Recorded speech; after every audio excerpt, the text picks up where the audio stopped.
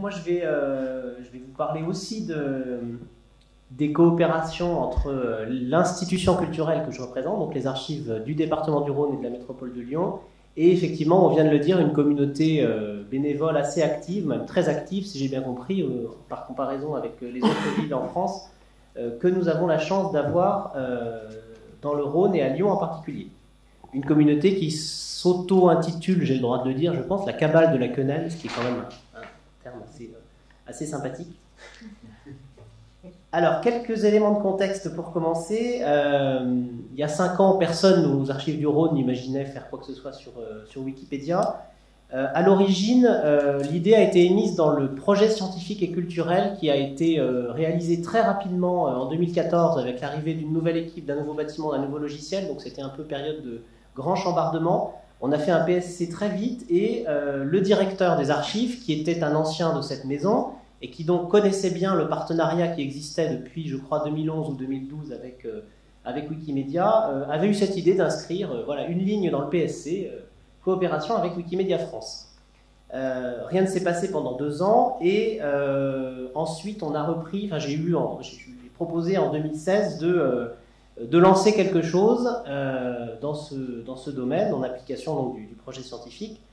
Euh, on a contacté tout de suite euh, la fondation qui très gentiment nous a réorienté donc vers la communauté locale, vers la cabale de la quenelle, et on a rencontré donc quelques bénévoles extrêmement motivés grâce à qui on a pu faire plein de choses. Donc c'est vraiment un des points sur lesquels j'insiste. on n'aurait rien fait, on n'a rien fait, et on n'aurait rien fait sans un certain nombre de bénévoles qu'on a eu la chance d'avoir avec nous. je vais détailler rapidement le, les modalités euh, voilà, de, travail qui, qui, ont eu lieu, mais, mais vraiment c'est un point extrêmement important, euh, d'où le titre de mon intervention. Alors cette convention que je que j'ai quelque part ici, euh, qui est en fait est extrêmement proche de celle qui a été signée par les Archives nationales et que vous trouvez sur le site internet des Archives nationales. Donc je, suis tout prêt à l'adresser à, quiconque souhaiterait en avoir communication, mais franchement elle, elle, ressemble vraiment beaucoup. Euh, cette convention définissait, bon, outre un certain nombre de considérations euh, générales que je vous passe, euh, définissait quatre objectifs principaux que notre travail sur les outils, disons, de, l'univers wiki pouvait avoir. les deux premiers objectifs concernaient la contribution sur les articles Wikipédia, et ces deux objectifs étaient assez différents. Le premier était en fait tout simplement de signaler des sources, de signaler l'existence sur des articles de sources conservées chez nous. Alors, on n'a pas écrit sur le site, sur l'article de la préfecture du Rhône, qui d'ailleurs n'existe pas, euh, que les archives de la préfecture du Rhône étaient conservées aux archives départementales. On estime, peut-être à tort, qu'un chercheur moyennement euh, renseigné sait ce genre de choses. En revanche, l'analyse était que euh, lorsque nous conservons des fonds d'archives privés, des fonds d'archives d'entreprise familiales, ou même des fonds d'archives communales déposés, même si c'est un peu plus simple, eh bien, euh, le lecteur ne sait pas forcément euh, ni que ces archives existent, ni surtout qu'elles ont été versées, données, déposées aux archives départementales. Donc, cette première intervention, c'est tout simplement une ligne en bas d'un article qui indique que euh, le, donc, fonds de la famille Untel se trouve conservé aux archives du Rhône avec un lien externe dans une note de bas de page vers l'inventaire en ligne publié sur le site des archives départementales. Deuxième euh, modalité d'intervention, c'est euh, alors là davantage de la rédaction, mais en réalité pas de la rédaction ex nihilo. Euh, l'analyse que j'ai faite est que nous passons beaucoup de temps, et encore une fois notamment lorsque nous classons des archives privées, mais ça peut être vrai aussi pour d'autres types de fonds, à réaliser des introductions extrêmement fournies qui vont expliquer avec un luxe de détails l'histoire d'une famille, l'histoire d'une entreprise, avec des recherches parfois fondamentales, enfin en tout cas qui implique euh, un certain dépouillement de la source qu'on est en même temps en train de, classer, du fond qu'on est en train de classer. Et euh, je crains que euh, ces informations restent relativement confidentielles, en tout cas n'aient pas tout le public qu'elles pourraient mériter lorsqu'elles se trouvent perdues sur un PDF au fin fond d'un site internet, certes relativement consulté, mais qui n'est pas, non plus, pas non plus Wikipédia ou, ou les outils de cette nature.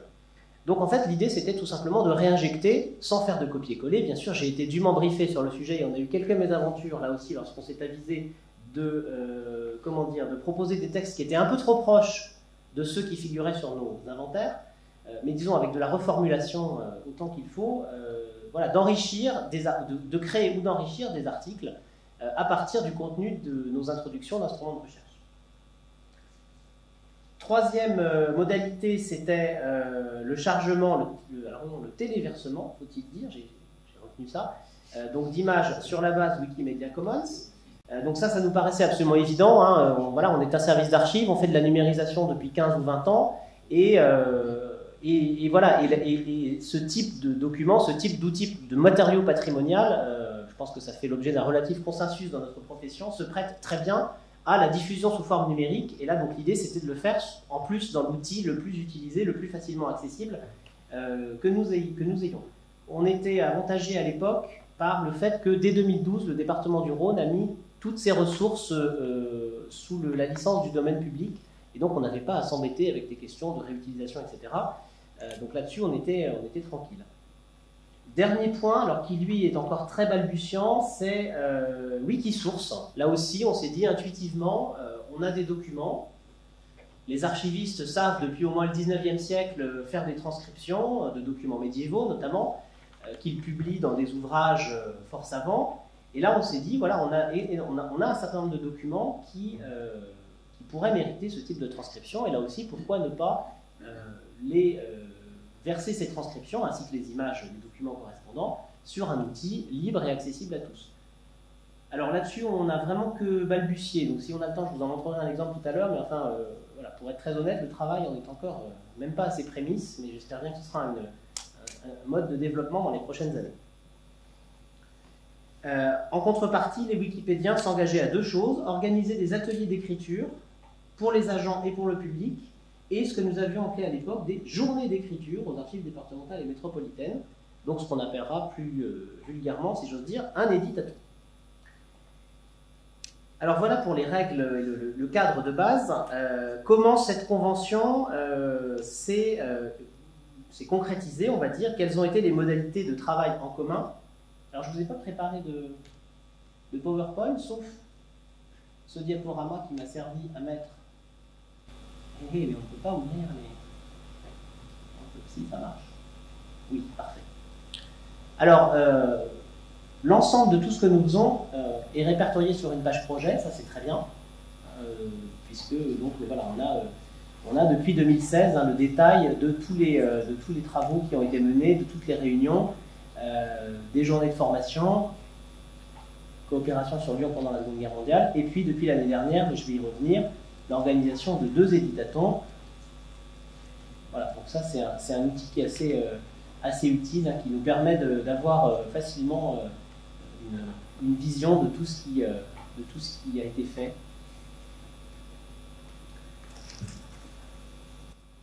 Alors pendant, on va dire, les deux premières années, les 18 premiers mois, le travail s'est essentiellement concrétisé en interne, c'est-à-dire qu'on a constitué un petit groupe de 6-7 agents au sein des archives, volontaires, même si certains ont été invités à se porter volontaires pour y participer.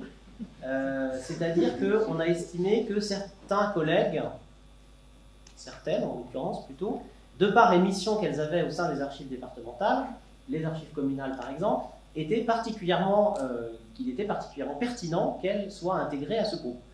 Euh, donc l'idée a été qu'on se réunissait une demi-journée par mois dans un espace commun, la plupart du temps avec un ou plusieurs bénévoles de la communauté locale, qui ont toujours répondu présent, je tiens à signaler. Euh, et on travaillait en fait, euh, si j'ose dire, chacun de son côté, donc tel collègue sur du coup les fiches des communes, collègue en charge des archives communales, sur les fonds privés, euh, on avait également à l'époque un service qu'on appelait euh, de la conservation du patrimoine, qui menait plus des missions d'études sur le patrimoine, euh, voilà, tous azimuts, et qui, donc cette collègue a fait un certain nombre de contributions qui, elle, n'étaient pas strictement archivistiques, mais plutôt en lien avec la valorisation du patrimoine bâti, etc. Et puis, moi qui ai un petit peu fait des choses à droite à gauche, on va dire, alors je voulais juste montrer un exemple de euh, voilà, là on a. Euh, alors, j'entendais tout à l'heure, euh, la politique menée dans l'Hérault m'a semblé extrêmement organisée. Nous, ça a été beaucoup moins organisé, ça a été plus voilà, par tâtonnement et par. un peu par effet d'opportunisme successif. par exemple, il y a deux ans, en raison du 30e anniversaire et surtout du fait que le dossier de procédure a été rendu librement communicable par décision de, la garde des Sceaux, euh, dossier de procédure donc, du procès Barbie qui a eu lieu à Lyon en 87, euh, on a organisé une expo sur, euh, sur ce, procès et du coup je m'étais aperçu juste avant qu'il n'existait pas d'article sur le procès Barbie et il existait un paragraphe extrêmement limité dans l'article sur Klaus Barbie lui-même à propos de son procès. Donc, du coup, euh, j'ai créé cet article et euh, la bonne surprise a été qu'avec donc un certain nombre de reproductions euh, de documents issus du dossier, et la bonne surprise a été que cet article a été fortement repris et, et alors modifié d'une part. Hein, voilà. L'historique est assez, sans doute pas énorme par rapport à beaucoup d'autres, mais quand même. Euh, et, également cité plusieurs fois par d'autres euh, articles. Donc je pensais que voilà, cet article correspondait sans doute à, un manque, ce qui est toujours plutôt agréable. Euh, dans un autre domaine et de façon un peu plus organisée, donc Cédric Godin, le, wikipédien qui nous a le plus chaperonné, si j'ose dire, depuis l'origine, m'avait demandé qu'on travaille de façon un peu générale sur les sources de, la Seconde Guerre mondiale à Lyon euh, pour illustrer un article sur lequel lui travaillait euh, sur l'aspect rédactionnel à ce moment-là, donc Lyon pendant la Seconde Guerre mondiale. Euh, et donc l'idée était de fournir un certain nombre d'illustrations. Voilà, donc il y en a un certain nombre disséminées au fil de l'article. Et puis en bas, vous avez ce, par exemple ici, une petite galerie de photos avec les arrêtés. Donc on, a toute la collection des arrêtés absolument majeurs, mais qui pourtant, c'est aussi en ça que c'est intéressant de les montrer euh, au grand public, euh, malgré leur caractère extrêmement majeur. Vous avez des arrêtés tels que les lois raciales sont abolies, donc c'est quand même important, hein, on est en début septembre 44, mais c'est sur des papiers complètement, euh, voilà, papier, comment est-ce que ça s'appelle, je ne sais plus, extrêmement fin et voilà, très fragile, et donc voilà, il y a cet intérêt-là, sans doute, à montrer ces documents. Euh, donc ça, c'était voilà, une, coopération euh, assez longue sur, euh, sur Lyon pendant la Seconde Guerre mondiale. Et puis, ce travail en interne, hein, du petit groupe en interne aux archives départementales, est un petit peu tombé en désuétude ensuite, par manque de motivation, parce que le caractère volontaire de la chose a fait que, voilà, petit à petit, on me disait Ouais, j'ai pas le temps, puis j'ai fini ce que j'avais à faire, etc. Donc. Tout ça est un peu tombé en désuétude. Et en parallèle de ça, à partir de donc, fin 2017, début 2018, on a décidé, euh, en lien toujours étroit avec euh, la communauté wikipédienne, de euh, l'organisation d'un éditaton. Donc le premier a eu lieu il y a exactement un an, et le second a eu lieu il y a exactement un jour, puisque c'était hier, de 10h à 20h, dans la salle de lecture des archives départementales. donc l'an dernier, on avait décidé de travailler sur les institutions de Lyon et du Beaujolais sous l'Ancien Régime, ce qui était un, sujet qui avait une vraie pertinence sur le plan de la rédaction, parce que vraiment on a constaté que les articles euh, sur les institutions de Lyon, euh, donc euh, les institutions d'Ancien Régime, la Cour des bonnets, la, maîtrise des eaux et forêts, etc., étaient soit totalement inexistants, soit extrêmement déficients. Donc là, on, s'est dit qu'il y avait vraiment un enjeu à les améliorer qui en revanche a été un peu décevant sur le plan euh, de l'illustration, puisque euh, on a eu un peu de mal à trouver dans les archives, euh, dans les fonds administratifs de l'Ancien Régime, beaucoup de documents réellement exploitables de par leur, soit leur aspect, soit leur intérêt historique. Enfin, disons qu'il aurait sans doute fallu mener des recherches beaucoup plus profondes que celles que nous avions le temps de faire.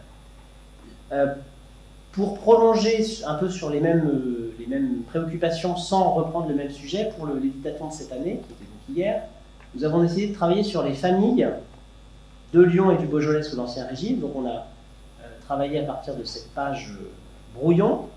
Hein, donc, on a bien respecté les préconisations du petit dépliant sur l'organisation d'un éditaton avec l'établissement d'une liste d'articles euh, qui étaient encore une fois soit à créer, soit qui existaient déjà mais qui étaient améliorés.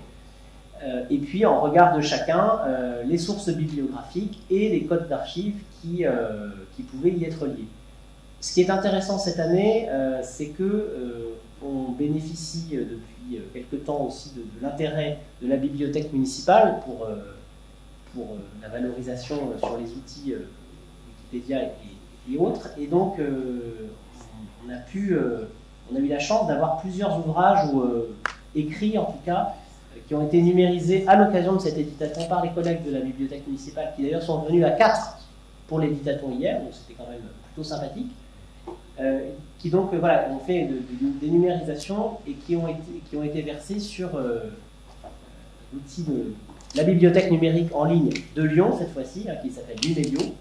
Ce qui évidemment, lorsque, lorsqu'on est en, en, train de contribuer, est plus simple pour, pour, tout un tas de raisons, et notamment le fait qu'on n'a pas besoin d'avoir, de se préoccuper de, trouver le, support original, et on peut être plusieurs à partager le même, la même source au même moment. Alors juste pour donner quelques chiffres, lors de la journée d'hier, on a euh, créé 20 nouveaux articles, modifié une centaine, et euh, on a chargé, je voulais vous montrer ça aussi, on a chargé à peu près 500 fichiers. Hop 500 fichiers numériques, euh, donc de reproduction de documents.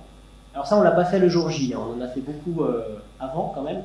Alors pour le coup, là, le, thème était assez intéressant sur le plan de, la valorisation euh, sur Wikimedia, parce que dans les fonds de famille, on trouve beaucoup de documents euh, iconographiques, illustratifs au sens très large, et, euh, et, du coup, voilà, on a quand même trouvé un certain nombre de merveilles et, que nous avons numérisées et que nous avons versées. Je vous donne juste un exemple parmi beaucoup d'autres.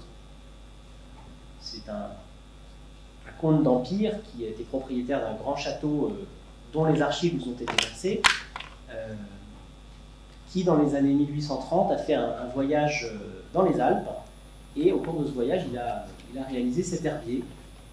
Donc nous avons publié l'ensemble des vues.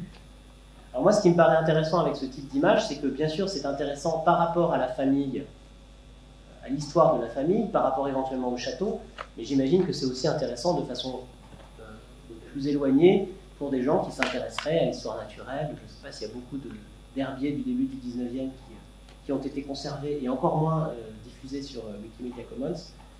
Voilà, c'est ce genre de choses. Ce que je voulais dire aussi sur cet éditaton, c'est que ça a déjà été un peu dit, c'était quand même, il y, a une dimension de convivialité qui est indéniable. donc voilà, on passe la journée ensemble quand même, jusqu'à 20h. on fait des pauses, et, c'est vraiment, voilà, c'est aussi un des intérêts euh, les, Wikipédiens se connaissent bien entre eux, en tout cas à Lyon, ils se rencontrent. Euh, c'est vrai que c'est aussi l'occasion ce genre, ce genre de journée permet euh, de les faire, se, enfin, de se rencontrer entre nous et voilà, de parler un peu plus, d'échanger de façon un peu plus, un peu plus approfondie.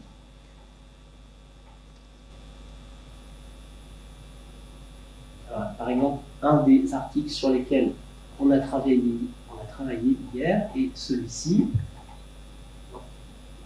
rappeler d'autres.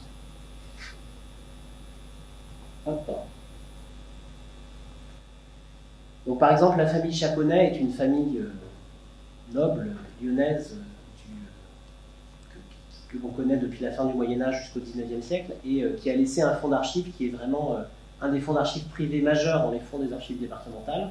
Et cette famille n'avait pas n'avait pas d'article à son nom jusqu'à jusqu'à hier. Voilà, et donc donc l'éditaton a permis euh, de, mettre fin à cette anomalie avec donc un article et aussi et peut-être surtout, euh, en tout cas pour nous c'est extrêmement important, euh, l'utilisation de reproduction de documents conservés aux archives départementales. Cette famille est connue notamment parce qu'un certain nombre de ses membres, au XVIIe, XVIIIe siècle, lors de leur mariage, ont fait réaliser ces documents magnifiques qu'on appelle des chartes de mariage, euh, euh, qui n'était pas, euh, qui n'était pas, dit, qui n'était pas accessible en, ligne jusque-là. Donc l'éditaton a permis d'une part de les numériser, d'autre part de les rendre accessibles via Wikimedia Commons, et enfin de les verser sur l'article en attendant qu'un article peut-être spécifique soit créé sur les chartes de mariage pour, pour, ça, pour approfondir un peu plus la question. On a travaillé aussi sur cet article qui en fait concerne le château euh, construit par euh, la famille de Chaponnet au milieu du 19e siècle, le château de la Flachère. Et euh, là aussi, donc, je, disais que le fonds d'archives est assez remarquable. Ce fonds d'archives comprend également toute une série de plans aquarellés qui ont été réalisés par l'architecte du château hein, dans les années 1860. Et il se trouve que l'architecte en question c'est Viollet-le-Duc. Euh, donc évidemment, pour nous, ça prend une importance particulière, surtout en ces temps où on parle beaucoup de lui. On a même trouvé une, une planche aquarellée qui représentait la charpente du château. Alors on s'est dit, c'est intéressant, les charpentes de Viollet-le-Duc, en ce moment, il y, a, un véritable enjeu.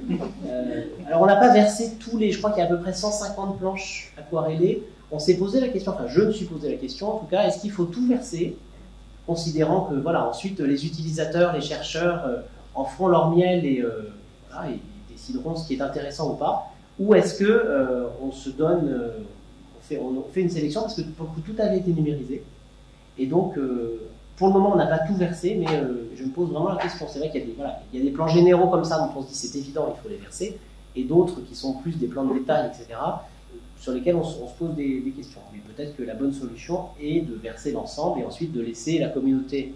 Je vois que voilà, nous avons une confirmation.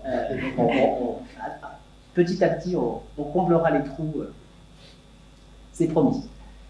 Euh, donc, puisqu'il me reste peu de temps, ça tombe très bien. Euh, juste quelques perspectives pour conclure. donc, les, sur l'année qui vient ou les deux prochaines années, pour moi, c'est tout d'abord continuer les éditatons parce que c'est vraiment extrêmement intéressant à tout point de vue, dans la préparation et dans la journée elle-même.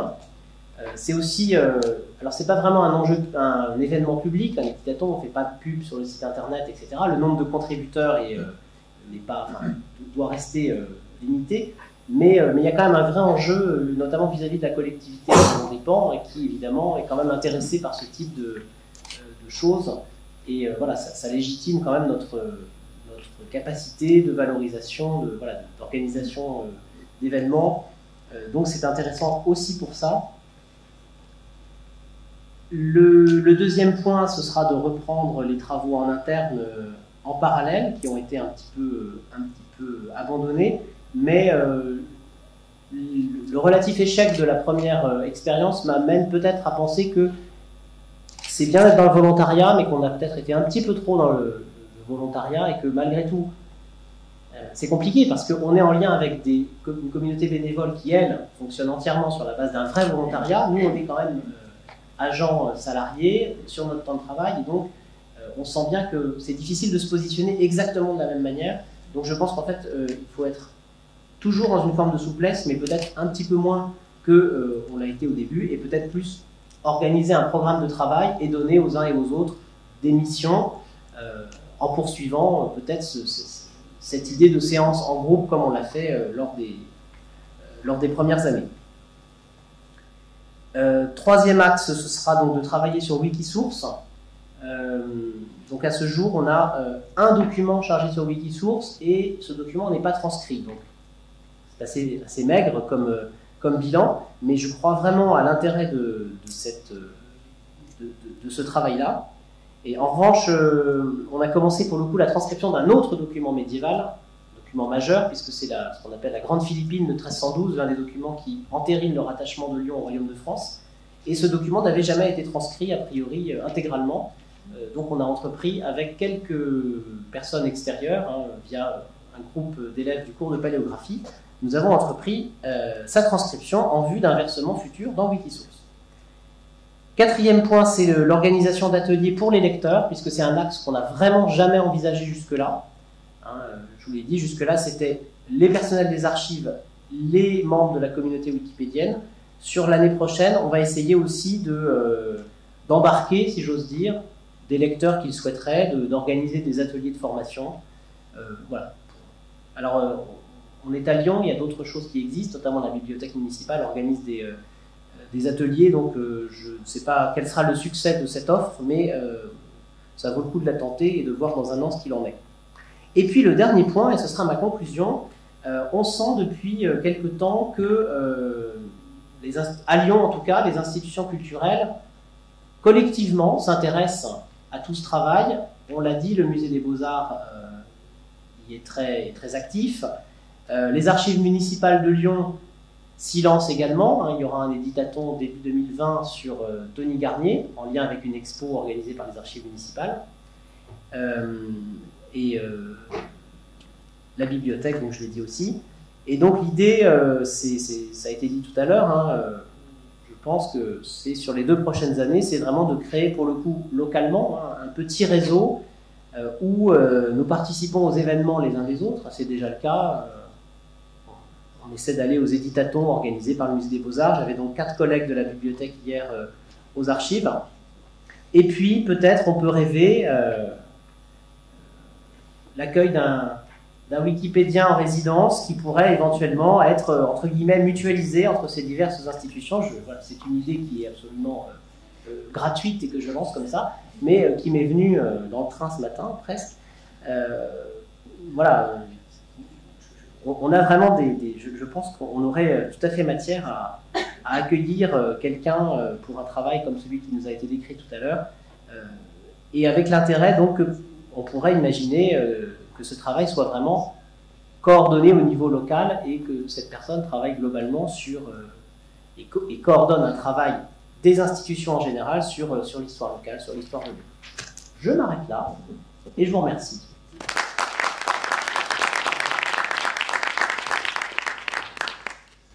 Merci beaucoup, Damien, de cette euh, présentation. Est-ce que il y a des questions Oui, Lucas, évidemment, j'aurais dû m'en douter. Mais je voulais expliciter en fait ton questionnement sur le versement. Oui. Et euh, je voulais expliciter parce que euh, c'est ce qu'on a dit ce matin. les, euh, le versement sur Wikipédia, de, sur Commons, tend à la sérendipité. Comme il est impossible de prévoir l'usage que va faire le public, et quand je parle de public, c'est vraiment l'intégralité, ça va du chercheur au simple curieux, euh, de, ce qu'on va faire, euh, il faut verser sans se poser. Bah, il faut bien se poser la question au début, mais il faut vraiment verser puisque on a un nombre assez considérable de comment ça s'appelle de, de réusage, de découvertes, de, choses qui sont faites juste parce qu'on avec des documents dont on n'avait jamais pensé euh, cette utilité. Voilà. Ça tombe bien que tu sois monté sur scène, Lucas, parce que ma question était principalement pour toi.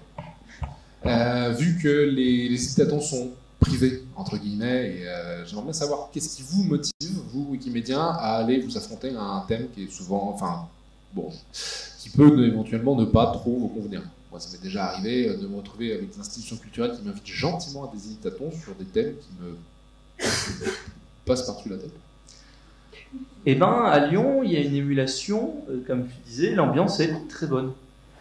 Et euh, cette ambiance est euh, recherchée. Euh, moi, je suis vraiment un wiktionariste et je contribue sur Wikipédia essentiellement pendant les éditatons. Et parce que, bon, après, il faut avoir l'esprit curieux hein, pour au moins pas passer un mauvais moment, je dirais, à, se forcer à écrire. Mais ça, c'est le cas de la plupart des Wikipédiens et des Wikipédiennes, hein, enfin de manière générale des Wikimédiens et des Wikimédiennes. Et à partir de là, l'institution euh, ce qui se passe, c'est qu'au début de chacun de nos éditatons, on a une micro-présentation de ce qu'on va faire, de la période concernée. Quand au Musée des Beaux-Arts, on fait la visite de l'expo, par exemple, avec la conservatrice qui a mis en place, souvent, ou avec quelqu'un qui a participé. Et donc, c'est toujours très intéressant, du peu dès qu'on est un petit peu curieux. Et donc, après, bah, on a envie, c'est pour une journée, c'est pas, tu vas pas passer ta vie sur un sujet qui te branche pas. Donc, euh, les, plupart des gens vont volontairement sur un sujet euh, par curiosité, sur un sujet qu'ils maîtrisent pas. Et il y a le fait qu'on est accompagné. Si on a une question sur le sujet, on a des historiens, on a des euh, documentalistes, on a des archivistes qui sont là pour nous aider. Euh, bah, on prend ce livre-là, celui-là, bon, il est bien, mais il n'est pas assez complet. Ou voilà, donc on n'est pas tout seul face à un mur de savoir à déconstruire. Et, euh, mais c'est ça des fois. Hein. Donc pour peu que tu connaisses, tu n'as jamais fait d'études en histoire, euh, faire un, une, contribution aux, archives, ça peut faire peur. Et euh, le fait qu'on soit accompagné du début jusqu'à la fin, qui est des, des, Wikipédiens qui sont passionnés, donc qui transmettent un peu cette passion, c'est communicatif, plus le fait qu'il y ait des professionnels sur place qui nous accompagnent, euh, après, ben, il y a une bonne ambiance. Euh, comme, disait, euh, comme disait Alice, snack is everything, donc on peut tout faire avec de la nourriture. Donc il y a, y a de la bouffe, ça, ça, marche. Et, et vraiment, c'est ça, l'ambiance est bonne. Et tout ça font que, même si le sujet en lui-même n'est pas ultra rassembleur, même socialement important ou quoi que ce soit, on, on, on est ravi de passer une journée, voire deux, pour le musée des Beaux-Arts. C'est souvent deux jours qu'on fait. Euh, à contribuer sur un sujet voilà, qui, euh, peut être limité euh, en termes d'impact sur notre monde, mais au final, au, final, ça reste un excellent moment et les Wikipédiens en demandent en fait. Je précise aussi en ce qui nous concerne, c'est pas le cas du musée qui organise en lien avec ces expositions, mais nous, on a, les sujets sont, je vais pas dire validés, mais enfin, en tout cas, discutés avec, avec certains des bénévoles avant d'être, voilà, avant de décider. On a demandé est-ce que ça, ça vous branche Effectivement, si on nous avait dit non, mais euh, sûrement pas. Bah, après, c'est ça. C'est-à-dire que les, Wikipédiens euh, impliqués à Lyon sont des gens qui connaissent un peu le profil des autres, puisqu'on se côtoie euh, régulièrement. Donc, ils savent que euh, on va pas avoir trop de mal, que les, les autres vont pas avoir trop de mal à, contribuer. Donc, euh, quand on nous demande, on, nous, inclut dans, le choix des sujets et dans la thématique, on sait. Euh, c'est pas une question de ce qui va plaire, mais on sait de ce qui, va pouvoir être fait. Parce que des sujets qui sont extrêmement spécialisés et qui vont demander euh, d'avoir passé un certain temps pour juste comprendre la base de fonctionnement, un dictaton sur euh, ce que j'appelle, enfin sur le lambda cal- calcul, qui est un, calcul mathématique, un type de calcul mathématique ultra haut niveau, euh, et ben il faut que les gens à la base ils savent un minimum de ce que c'est euh, le lambda calcul, quoi. Et ça, euh, ça même si c'est dans une université avec des profs de mathématiques, il faut bien une demi-journée juste pour comprendre sur quoi on va contribuer. Et ça, évidemment, euh, ben, on peut pas le faire avec tout le monde. Et du coup, euh, le fait d'inclure des Wikipédiens dès le départ dans la démarche d'organisation, c'est aussi faire en sorte d'avoir un sujet. Les Wikipédiens savent que les autres vont pouvoir toucher dessus sans trop de problèmes. Voilà, ils sont, des bons intermédiaires. Merci beaucoup. Encore merci. Ben, je pense qu'on peut clôturer ces journées. Je vais inviter. euh, Vous pouvez applaudir.